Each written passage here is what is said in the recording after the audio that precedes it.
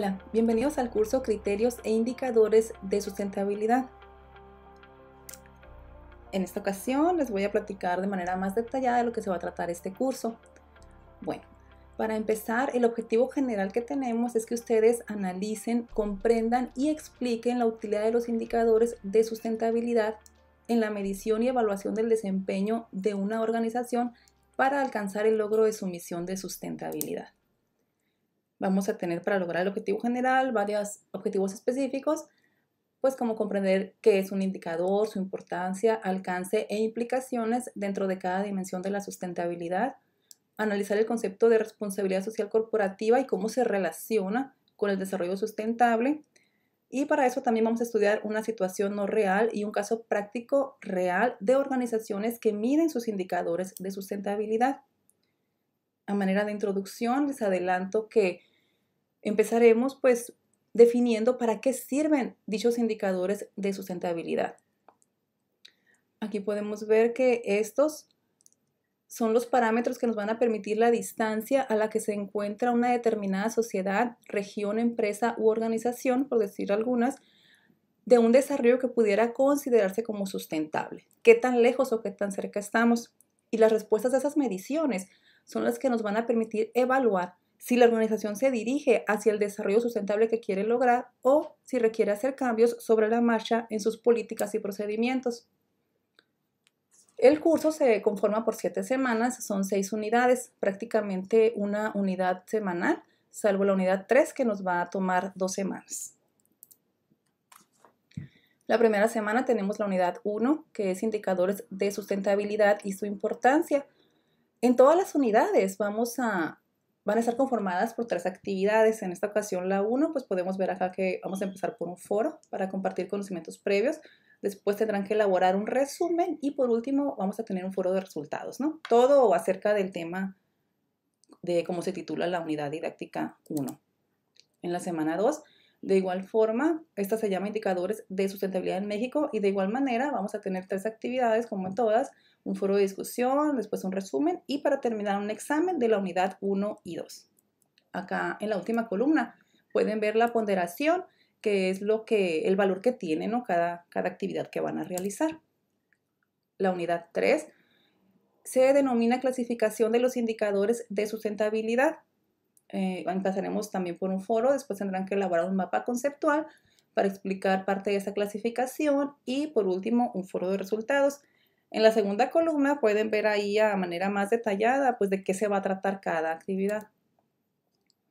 En la semana 4 seguimos con la unidad 3 para seguir explicando la clasificación de los indicadores de sustentabilidad. Van a hacer otro mapa conceptual y tendremos un examen para evaluar esta unidad que vamos a ver en dos semanas.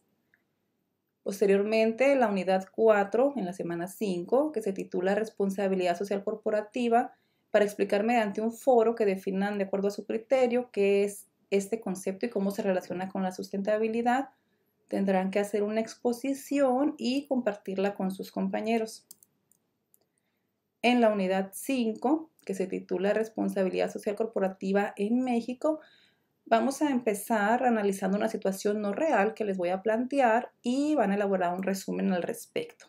Después harán una exposición sobre el origen y evaluación de este concepto que es la responsabilidad social corporativa en México y por último la van a compartir mediante un foro y van a retroalimentar a dos compañeros.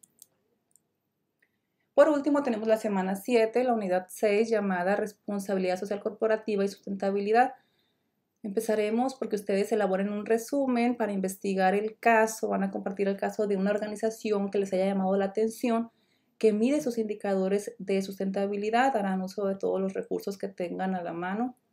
Este, hay mucha información al respecto actualizada, muchas empresas que, que abiertamente dan a conocer sus reportes de indicadores de sustentabilidad, así que van a tomar el que les parezca más interesante y vamos a platicar al respecto, ya con todos los conocimientos que hayamos tenido hasta este momento, de qué son los indicadores, cómo se clasifican, cómo se miden, para qué sirven, qué nos reflejan.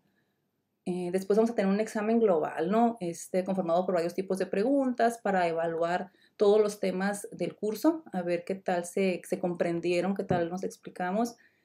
Y por último, van a realizar un ensayo de todos los temas también del curso que van a incluir su opinión personal sobre la utilidad de los indicadores de sustentabilidad para la medición y evaluación de las organizaciones en el logro de llegar a sus escenarios de sustentabilidad que hayan deseado, ¿no? Las instrucciones del curso, pues es estudiar todo el material que se les va a proporcionar, va a estar en la plataforma disponible ahí para ustedes. Hay que seguir todas las indicaciones, traté de ser eh, precisa y, clara y también este, pues corta en las indicaciones que les estoy poniendo en la plataforma. Y por último, cumplir con la entrega de todos los productos solicitados en la plataforma. Esos productos se tienen que entregar de manera semanal, la semana abarca de lunes a domingo, entonces hay que estar muy pendientes de que no se nos pase cumplir con las actividades ahí solicitadas.